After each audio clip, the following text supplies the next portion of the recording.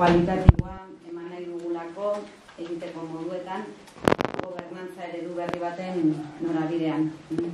Gaur egun inor gutxik jartzen du zalantzan garai aldakorrak bizi ditugula eta hainbat aldaketa bazizki bizian doa zela ez.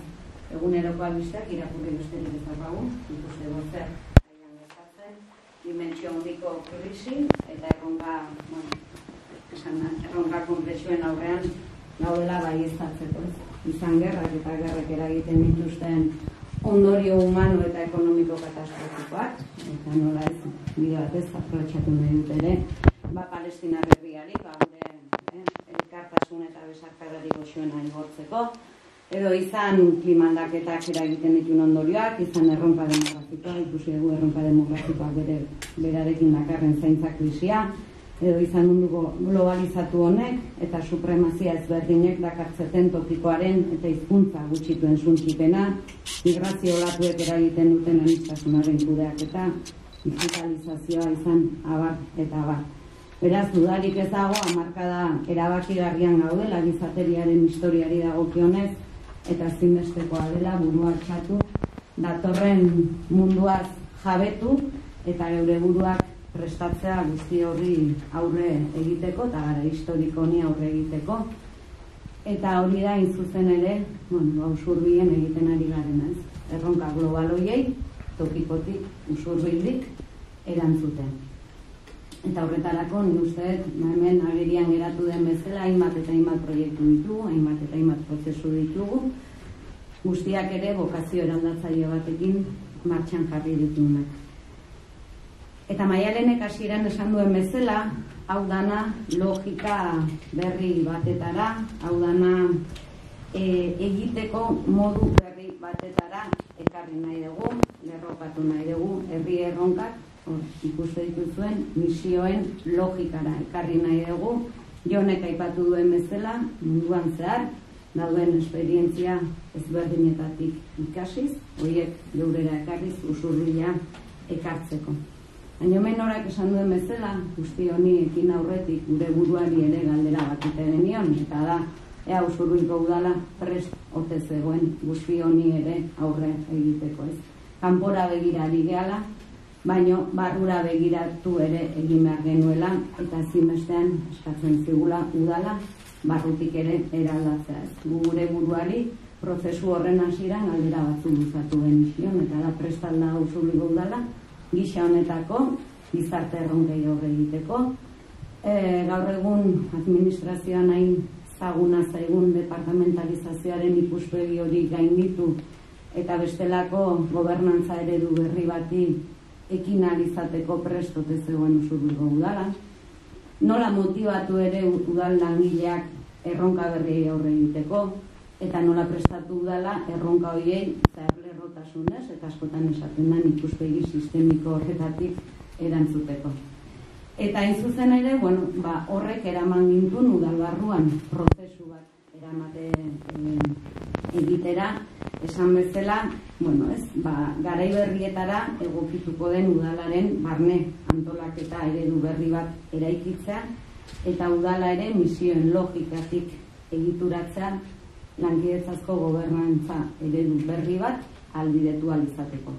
Lehen aipatu da, une honetan prozesu horrek ekarri duena izan da, udala hiru ere muzabaletan antolatu dugu, herritarrak lurraldea antolaketan, eta gaur abiatzen dugun prozesutik eratu, eratorriko den misioen baitako antolaketa eta gobernantza eredua da, etorkizun urbil batean, gehitu nahiko geniokena jadanik martxan daukagun antolaketa e, berri honi. Beraz, esan du zer da gaur abiatzen deguna. Beno, maialenek zerbait aurreatu digu. Eta bat, hiru misio finkatu ditugu. Guretzako ez daukagu ezin da usurbu hilu lertu, transizioko sozialik gabe eta horri begirako misio bat finkatu gabe. Baina nahiko genuke misio hori herri misio bat izatean eta misio hori elkarrekin erekitzea. Eta horregatik, aipatu dugu, baurrengo asteetan, bako sorkuntzarako prozesu bat, parte hartze prozesu bat abiatu nahi degula, eta prozesu horretan ba, parte hartzera ditu nahi ditugu, ba, erriko eragile sozial, eragile ekonomiko, eragile pribatu, eragile komunitario, herritarrak elkarlanean, une aipatzen den elkarlanean hori, misio hori finkatzeko. El prozesu horrek, eta benetan alegin, berezia egingo dugu, parte hartze hori, eh, anitza izan dadin, eta parte hartze hori bermatu dadin. Beraz, lanketa horrek, bi hiru zeregin izango ditu. Bat misioa finkatzea, bi misio horretara iritsi izateko herritik sortu eta irudikatu beharko genituzten proiektu egitasmo berritzaile eraldatzaileak sortzea, eta hiru hori aurrera eramateko herrian eraiki beharreko gobernantza zein den definitzen. Baina hori ez da bakarrik egin nahi deguna, hori eta gero, men beste erronka batzuk aipatu dira, beste misio batzuk aipatu dira, eta hori eta azkain badaukagu egunerokoan, eguneroko realidadea, eguneroko kudaketa, orain txereari legaldiko flan bat osatzen, egitasmo asko, eta beraz, bueno, nahiko genuke ere, guzti hori, guzti hori, guztatuko luken, lankidetzazko gobernantza berri baterako proposamen bat ere.